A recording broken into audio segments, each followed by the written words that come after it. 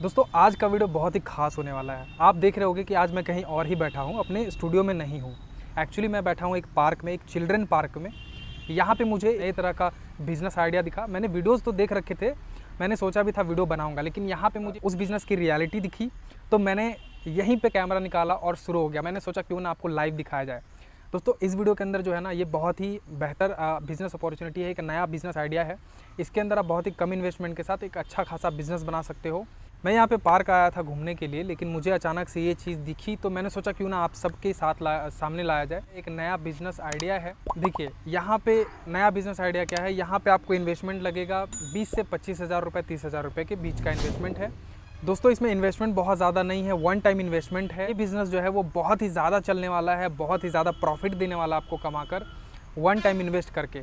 किस लिए? तो मैं आपको बताता हूँ, जैसा कि ये चिल्ड्रन पार्क है। यहाँ पे बहुत सारे बच्चे अपने अपने माँ बाप के साथ बहुत सारे फैमिलीज़ यहाँ पे आती है अपने बच्चों के साथ आते हैं। तो यहाँ पे खेलने कूदने की सुविधा अच्छी खासी बनी हुई है। उन सब चीज़ों के बीच में एक यूनिक चीज़ मुझे दिखा जो कि मुझे बहुत बेहतर बिज़नेस अपॉर्चुनिटी लगा आप लोगों के लिए।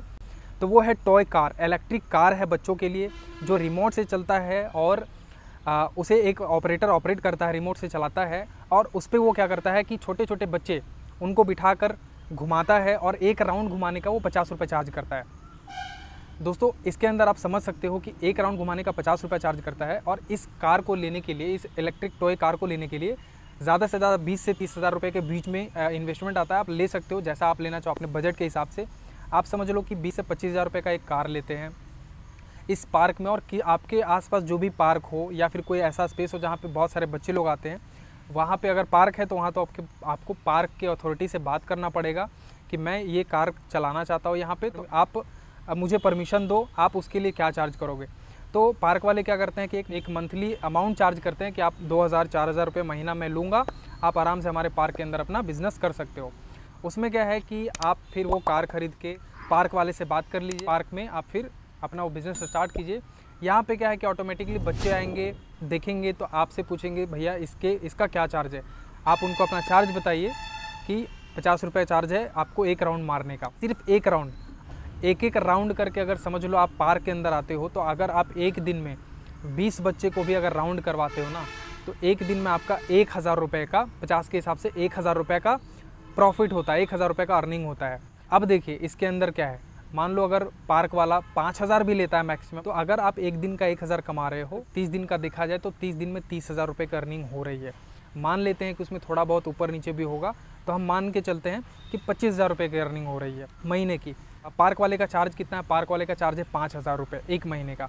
आपने पार्क वाले को भी चार्ज दे दिया तो भी आपके पास बच रहा है प्रॉफिट, सूखा प्रॉफिट बीस हज़ार रुपये। बीस हज़ार रुपये में देखते हैं कि अगर आप खुद कार ऑपरेट नहीं करते हो, आप कोई ऑपरेटर रखते हो, ऑपरेटर को आप पाँच से आठ हज़ार रुपये सैलरी भी देते हो, तब भी आपके पास अगर आप आठ हज़ार सैलरी देते हो, तब भी आपके पास बच रहे हैं बारह हज़ार रुपये। अगर दस हज़ार भी देते हो तो आपके पास बच रहे हैं दस हज़ार रुपये। आपने इन्वेस्ट कितना किया था? पच्चीस बीस से तीस हज़ार रुपये के बीच में और पहले महीने से आपको दस हज़ार रुपये की प्रॉफिट है। सारा चीज़ काटने के बाद, दस से बारह हज़ार रुपये की। तो ये बिज़नेस अपॉर्चुनिटी दिखा मुझे। यहाँ पे एक अति कम एज का बच्चा मतलब लड़का है, वो ये काम इस पार्क के अंदर कर रहा है। वो, उसने गाड़ी ख़रीदा, इस पार्क वाले से बात किया। उसको पार्क वाले ने बोला, पाँच हज़ार रुपये चार्ज लगेंगे। पाँच हज़ार रुपये में क्या है कि वो पार्क के अंदर चला सकता है उसकी परमिशन प्लस उसकी कार की बैटरी जो चार्ज करने की है, वो भी पार्क का बिजली से चार्ज करता है तो उसको बिजली बिल भी अलग से नहीं भरना पड़ता, पाँच हज़ार रुपये के अंदर उसका वो सारा चीज़ है। और मैंने इससे बात किया तो उसका कहना है कि डेली का मैं पंद्रह से बीस बच्चों को घुमा देता हूँ। ये एक एवरेज, किसी दिन ज़्यादा भी होता है, सैटरडे, संडे को किसी दिन थोड़ा कम भी होता है। तो अप्रॉक्सीमेटली अगर हम पंद्रह भी, पंद्रह लोगों का भी अगर लेके चलते हैं तो साढ़े सात सौ रुपये डेली के आते हैं। आप इसके हिसाब से अंदाज़ा लगा सकते हो, साढ़े बाईस हज़ार रुपये आराम से एक महीने के आ जाते हैं, जिसमें ये पाँच हज़ार रुपये देता है पार्क वाले को। बाकी सारा पैसा इसका खुद का, क्योंकि इसकी इसकी खुद की गाड़ी है और ये खुद से ऑपरेट करता है। इसलिए ये सिर्फ़ पार्क वाले का जो चार्ज है वो कटता है और बाकी सारा का सारा पैसा इसका। तो दोस्तों, इसके अंदर आप समझ सकते हो कि बहुत ही बेहतर बिज़नेस अपॉर्चुनिटी आपके दिमाग में भी ये चीज़ नहीं आया होगा। यहाँ पे आप समझ सकते हो कि आपके एरिया में कोई चिल्ड्रन पार्क है या कोई ऐसा स्पेस जहाँ पे बच्चे ढेर सारे खेलने कूदने के लिए आते हैं। शाम को फैमिलीज़ टहलने आती है अपने बच्चों के साथ तो वहाँ पे आप इस बिज़नेस को शुरू कर सकते हो। मान लो अगर कोई पब्लिक एरिया है तो वहाँ तो आपको चार्ज भी देने की ज़रूरत नहीं पड़ेगी। वहाँ पे आपका जितना भी प्रॉफिट होगा, वो आपका होगा। हाँ उसमें एक चीज़ होगा कि चार्ज करने के लिए आपको आपके आपके घर से लेके आना होगा और फिर वापस घर लेके जाना होगा। तो ये एक बहुत ही बेहतर बिज़नेस अपॉर्चुनिटी है, जहाँ पे आप एक छोटे से इन्वेस्टमेंट से इतना बेहतर अर्निंग वाला बिज़नेस स्टार्ट कर सकते हो और इसमें आपको बहुत ज़्यादा काम भी करने की ज़रूरत नहीं है।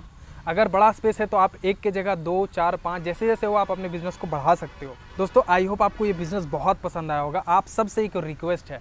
अगर आपको हमारे वीडियोस अच्छे लगते हैं तो आप प्लीज़ चैनल को सब्सक्राइब कीजिए और सब्सक्राइब करने के बाद सबसे एक इंपॉर्टेंट काम कि वेल आइकन को ज़रूर प्रेस कीजिए, क्योंकि उसके बिना मैं जो भी वीडियोस लेकर आऊँगा तो नोटिफिकेशन आप तक नहीं पहुँचेगी, जिसकी वजह से आप वीडियो मिस कर दोगे।